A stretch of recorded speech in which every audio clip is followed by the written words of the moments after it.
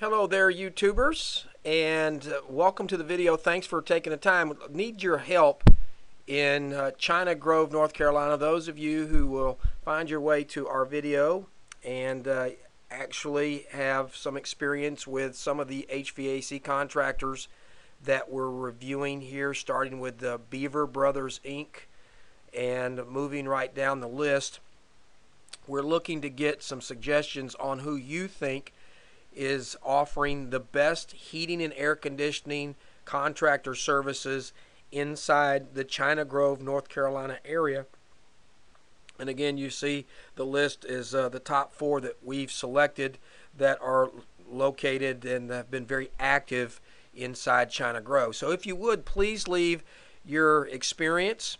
If you've had one uh, or more of these companies, please note that. We'd love to hear back your feedback, your comments, and your recommendations on who you would select if you were actually going to have an entire first and second floor heating and air conditioning uh, uh, system overhaul in uh, your uh, older home.